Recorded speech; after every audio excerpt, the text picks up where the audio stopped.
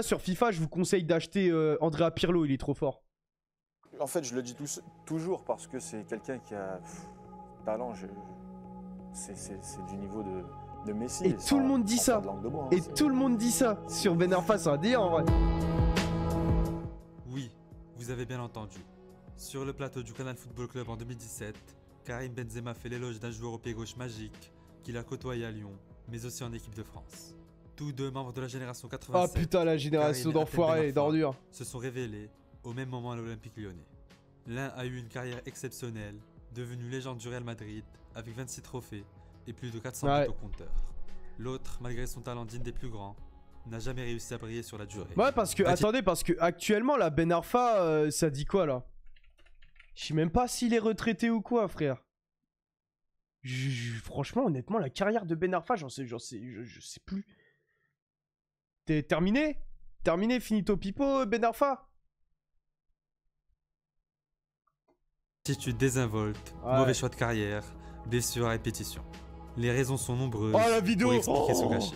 Putain, Archétype incroyable cette vidéo spectaculaire, Quand il de était euh, dribbles sur le banc là. individuels, Athème a pourtant multiplié les coups d'éclat, en France et en Angleterre, au point d'être considéré à une époque comme le futur crack du football français. Comme le futur crack du football français. directement sur Ben Arfa Arfa Sans contrôle Tatem Ben Arfa Et l'ouverture du score pour l'Olympique Lyonnais 40e minute Putain, l'OL quand même, vous en avez formé des gens. hein. Regardez l'état de votre club maintenant, les gars. Janvier 2015. Libéré de son contrat avec Newcastle, Athème Ben Arfa signe à Newcastle, l'OGC ouais, Nice. d'accord. Accueilli comme une star, l'enfant terrible du football français réalise à 30 ans la meilleure saison de sa carrière. 18 buts, 7 passes D et des dribbles à tout va. Le monde du football C'était quelle année déjà euh, pleinement du talent de Ben qu'il est parti au PSG, la Huisse Mon idole, pour moi, c'est Maradona. Car depuis que je suis tout petit, je regarde des cassettes de lui. Et c'est c'est mon préféré. La c'est la la la la La vidéo de Maradona. C'est lui mon idole. C'est lui mon idole, Maradona. 1999, Clairefontaine. Alors qu'il n'a que 12 ans, Ben Arfa fait déjà ses premières apparitions sur les petits écrans. Dans le milieu ultra médiatisé du football, tout le monde est conscient du don que possède le natif de Clamart. Les journalistes l'interviewent sans cesse et les recruteurs se l'arrachent. Une lourde pression qu'Athème a déjà du mal à supporter. Et moi, des fois, ça, ça, ça m'agace quand ils disent ça et tout. Et et moi, j'ai pas Putain, envie c'est qu'ils me dommage que ça soit euh, fondamentalement comme un un truc du bijou. cul en fait. Au sein de la génération 87 à l'INF, Ben Arfa se À distingue comme le l'INF. joueur le plus talentueux de sa promotion. Vitesse, agilité, coup de rein dévastateur, l'enfant a tout pour s'imposer au haut C'était quoi en vrai le meilleur mais ses premiers club problèmes de euh, comportement où il a performé déjà surface. Le club où il est considéré un peu comme une légende, Ben Arfa. C'est Nice du coup. Mais il est resté. Attends, il est resté combien de temps à l'OL Voilà. Ah bon, on passe par ici. En pro à l'OL, il est resté combien de temps Ben Joueur potentiel futur, voilà, le contrat, le premier. C'est important quand même. Hein. Après 3 ans passés à Clairefontaine, Athème rejoint à 15 ans le centre de formation de l'Olympique lyonnais contre une prime de 150 000 euros à la signature. Malgré des débuts remarqués en Ligue 1, l'attaquant ne sera jamais totalement accepté chez les Gauls. Putain. À seulement 17 ans, il ne fait pas profil bas et divise par son caractère trempé. Bah ouais, Pas mais. assez mature, Ben Arfa vit mal ce manque de temps de jeu et entre souvent en conflit avec Jean-Michel Aulas. Oh putain, son mais moi les mecs, je pourrais tuer pour avoir euh, un Zach en roue libre Jean-Michel Aulas. C'est tout ce qui nous manque, je pense. Euh, c'est ce qui manque à notre monde, à un petit Zach en libre euh, Jean-Michel Aulas là. Ça nous mettrait très très très très très très bien. hein. l'entraîneur Gérard Rouillet. Trois saisons de haut et de bas avant d'exploser lors de l'exercice 2007-2008. Impossible. Oh attention. hein. Zerra directement sur Arfa Arfa Sans contrôle Tatem Arfa Porté par le patron Juninho et l'excellente paire Benzema Ben Arfa, l'OL est champion de France pour la septième année consécutive. Élu meilleur espoir de la saison en Ligue 1, tout Putain, va mais Lyonnais Athènes, là, ça doit vous mais rappeler le toujours bon vieux mécontent temps. de son statut dans le Je club. suis désolé pour il vous. Hein. décide, contre toute attente, de rejoindre le rival olympien. Tellement navré pour vous. Ici, vraiment, pour un joueur de football, c'est vraiment l'idéal.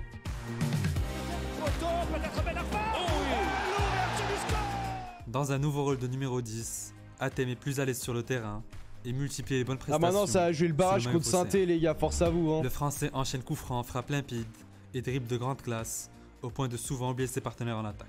Je veux pas de passe sur le terrain. Oh putain, les. De dire je fais pas de passe. Regarde, regarde les caméras, tu dis ça, et après les gens qui connaissent pas le football, ils vont Faut croire un gros comme Arrête toi. de dire ça, mon frère. Je suis pas individualiste, hein, Mais il est. toi. Ouais, il est mort. Ouais. est, sur la pelouse du stade Vélodrome pour ce 59e Paix à son âme. de l'histoire. Dernier match Paix à son âme, la les gars. dixième journée.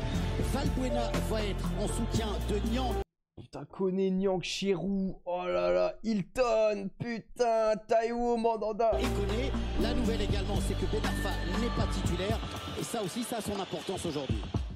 Mais Ben Arfa reste Ben Arfa, têtu et effronté. Lors de son premier classique au Sougueretz, il refuse d'entrer en jeu pour protester contre son statut de remplaçant. Malgré cet incident, Athème continue d'éclabousser la Ligue 1 par son talent et sa patte gauche, mais ne parvient pas à être régulier sur le long terme. La hiérarchie avec Mathieu Valbuena est souvent bousculée. Putain, Valbuena, moi, c'est le joueur. Je sais qu'il était fort, mais. J'ai jamais Pour réussi à le blairer, Valbuena. Je sais pas pourquoi. Ben Arfa inscrit le but du 2-0 face à Grenoble C'est lors de l'ultime journée de Ligue 1. jamais. Je l'ai jamais porté dans mon cœur, euh, Valbuena. Et pourtant, il était chaud. Ça, c'est le genre de joueur comme La ça, je sais pas, ils me reviennent pas, tu vois. célèbre alors le 9 titre de champion de l'histoire du club. Mais encore une fois, alors que tout va bien dans son équipe, Athème fait part de ses envies d'ailleurs. Il est parti où après l'OM Vas-y, baisse ta caméra. Ah, Newcastle direct. Le problème, le problème, c'est son comportement que j'aime pas. À qui? À Ben Arfa ou à Valbuena? Ben C'est quoi déjà l'histoire avec la meuf là, Zendaya en équipe de France, genre en 2010 Oui, oui, bah Zendaya, ouais, je pense que ça doit être. Non, c'était Zaya.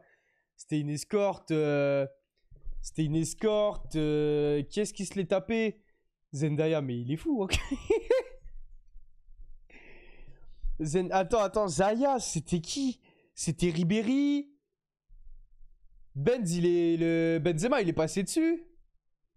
Govou, il est passé dessus? Mais en plus, c'était une dinguerie parce que elle a été mineure, je crois, à ce moment-là. fascine Enfin, histoire bizarre, histoire bizarre, 2010, le Français veut changer d'air et donner un nouvel envol à sa carrière. Buteur dès sa première titularisation en Première Ligue, le coach des Magpies, Alan Pardew, se veut optimiste à l'égard du Français. Mais ce fut sans compter Non, Damso, sur un terrible incident deux semaines plus tard. Aïe Déjà connu pour son agressivité démesurée, Ni- Nigel de Jong. De Jong découpe Ben Arfa Ouais. à la première minute d'un match entre Newcastle et Manchester City. Ah, De Jong, non c'était vraiment un maîtrisée fils hein. qui stoppe le francilien dans son élan. C'est l'événement, la malchance de trop. Plus en vie en dehors que sur le terrain depuis 2005, le début de carrière de Ben Arfa est chaotique.